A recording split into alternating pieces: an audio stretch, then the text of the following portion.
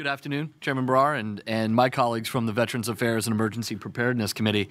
Uh, first, let me thank you, sir, for your understanding and flexibility with my schedule today. You know, and for the members, my colleagues here who may not know, I do serve on the Appropriations Committee. And uh, earlier uh, today, we are in a very lengthy hearing with the Department of Human Services. If it weren't for budget hearings right now, I would have certainly sat in on this entire meeting, and I do appreciate it. Again, your flexibility. And I do want to commend both you and Chairman Sainato for this opportunity. Far too often and in every committee, we sometimes overlook important ideas and proposed legislation as we collectively get caught up in budgets and redistricting and the other salient issues of the day. It's my firm belief that hearings like this, Mr. Chairman, should be conducted in every standing committee at least biannually.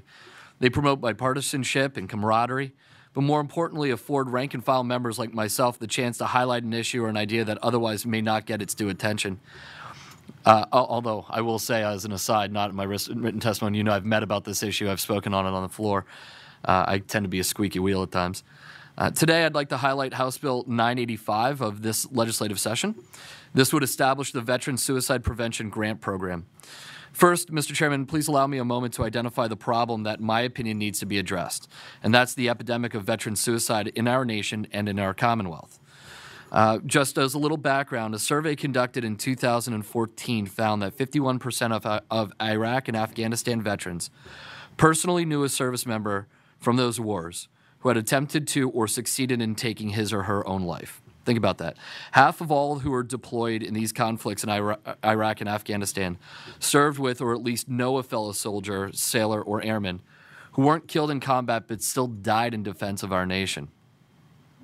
A study published in 2012 by the Cleveland Clinic Journal of Medicine concluded that combat veterans have a significantly higher risk of suicidal thoughts and are much more likely to act upon them. According to a 2015 publication in the Annals of Epidemiology, 1,868 men and women who served in the U.S. military between 2001 and 2007 took their own lives. And the United States Department of Veterans Affairs, in a report in 2014, suggested that upwards of 20 veterans daily are taking their own lives in one manner or another.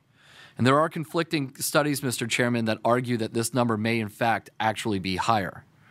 Just last week, during the Department of Military and Veterans Affairs budget hearing, Adjutant General Anthony uh, testified that suicide rates for Pennsylvanian veterans is twice the rate for non service men and women in Pennsylvania. Again, Pennsylvania servicemen and women are taking their own lives at twice the rate of non uh, of non servicemen in our in our Commonwealth. Suicide is not easy to prevent. Depression, anxiety, post traumatic stress disorder, addiction, and simple life stresses all contribute. But we are not helpless in this fight. There are countless numbers of community organizations. We all have them in our neighborhoods. People in facilities that are embedded throughout the Commonwealth that can get to those people who are contemplating suicide and give them the resources that they need to get through that tough period in their lives. Some of those organizations work solely with veterans or their families, and some work with the public as a whole, but just by the very nature of those people who are suicidal in their thoughts will be veterans.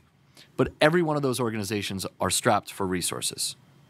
Up until the last budget, the only source of funding made available through the Commonwealth to combat this tragic epidemic has been a $250,000 annual appropriation for community organizations through the Veterans Trust Fund. Ladies and gentlemen, we have a $33 billion general fund budget. And the only money that we've been able to come up with up until last budget was a $250,000 contribution through the Veterans Trust Fund. These do not, these don't, and those dollars, it should be made clear, do not address suicide specifically but offered support for mental health, homelessness prevention, and other issues, some of which helped combat veteran suicide. Last budget cycle, the good news is we, there was an appropriations of $750,000 detailed in the fiscal code that would go towards veteran suicide prevention, the very issue that we're discussing today.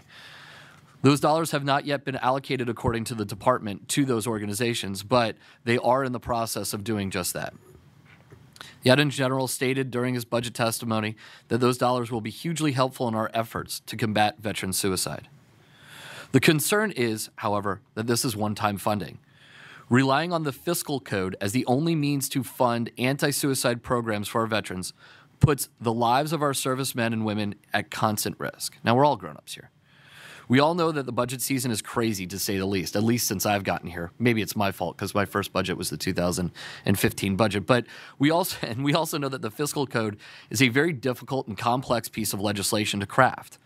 Because of those factors, we cannot assume that these dollars will ever, ever be made available again unless we act to create a program specific to combating veteran suicides and dedicating specific fundings for it. That's the goal of House Bill 985. And, and, I'd like to go off script just a second and thank Amy Britton for helping us craft this legislation. We've been at this for a number since I've gotten here. And it's simple legislation that only really has two significant components to it. The first is the establishment of a grant program. It would fund not for profit organizations, local government agencies like our County Veterans uh, uh, uh, Office of Veterans Affairs, veteran service organizations, and other private organizations who provide services specifically to our veterans with a goal of reducing the incidences of veteran suicide. It details the types of activities that we would fund, including depression screening, support groups, crisis hotlines, and the like. The dollars would be controlled by the Department of Military and Veterans Affairs and not the Departments of Health or the Departments of Human Services, so that we can ensure and that the legislative body who would say yes to this, hopefully, knows and feels comfortable that we are directing them to veterans and not towards the issue of suicide as a whole. It caps grants at $25,000 so that all of our communities would have access to these dollars so that this, this money can be applied throughout the Commonwealth. The second component is the creation of a dedicated source of funding. Because, Mr. Chairman, you know this because we talked about this in your office. We almost, I, I'll speak for myself, I almost feel it's disingenuous for us to create programs and not say how we're going to pay for it. This budget cycle may be less dif difficult than the last ones, but sitting through the last couple of uh, budget, uh, last couple of weeks of budget hearings, that's not going to be the case in perpetuity. And I don't think it's fair for us to hold our veterans and say we're going to hope that our, our, dollars will be there in, a, in the future. So that's why I've I've suggested, and I am open open to suggestions to be clear, that we do a two dollar surcharge on birth and death certificates. Although there's no fiscal note attached to this legislation, I'm, i believe that it would generate about $800,000 annually. Colleagues, our General Assembly has taken steps to shine a light on this epidemic. We, we pass resolutions annually highlighting this plague. We authorized one-time funding in the most recent fiscal code again to address this crisis. Our Department of Military and Veterans Affairs has testified that this will be extremely helpful to them. And every year, and and every year that we wait, we are missing an opportunity to help save lives for the brave men and women who have sacrificed so much to protect our liberty and ensure our safety from threats both home and abroad. Chairman Barrar and Chairman Sainato have both co-sponsored this legislation, and I truly appreciate their support. But know, and both know, as I do, that it is always difficult to ask taxpayers for more money. But in this case, I do believe that the need is great and the cause is just. Um, I'm going to take a, just a second um, some of you know my father was a Vietnam veteran who served in uh, who served in Cu Chi. He was a tunnel rat, and my dad had a rough go of it. My dad had severe PTSD, and he had addiction problems until the day he passed away. I'd love to tell you more of his service, but my dad died in 2001 as a direct result of carrying the burdens of being a tunnel rat in Vietnam. Our veterans across Pennsylvania, and to those of you who served on this committee, I did not. I would like to thank you for your service. And you know, either directly with yourselves or people that you served with, that we folks in Pennsylvania are struggling.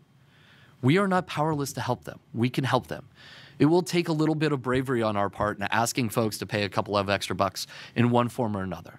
I suggested the birth and death, death certificate uh, fee because, frankly, I thought that was the easiest. But I am 100% open to looking to uh, to different ways of funding this. I just really believe it's about time that we, as a Commonwealth, kind of understand that this is a problem and we could do things to help. Mr. Chairman, I'm going to conclude my remarks there. Again, I went off script a little bit. I do apologize, but I do thank you for your time today. I thank you for this opportunity.